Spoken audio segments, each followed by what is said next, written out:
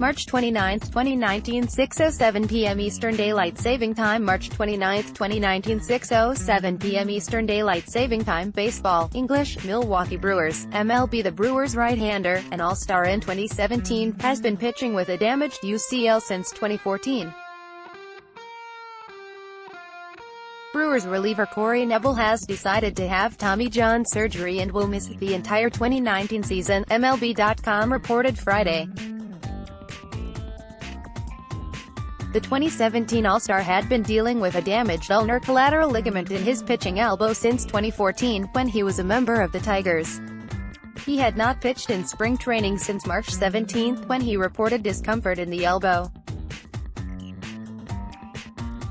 After consulting with several doctors, he opted for surgery, which is set for next week. More, watch Changeup, a new MLB Live Whip Around show on DAZN. The not knowing is the tough part, Knebel told reporters Thursday, before he made his decision.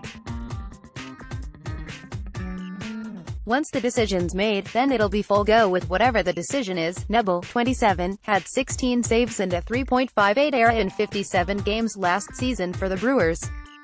While he will be missed, the Brewers have one of the two or three deepest bullpens in baseball, with Josh Hader and Jeremy Jeffress.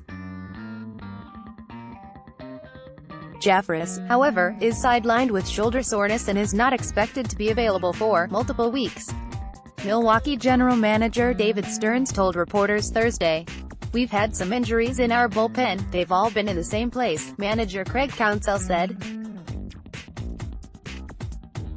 That changes the composition and how we think about our bullpen, and it provides opportunities for guys. We're going to go into it undefined a little bit.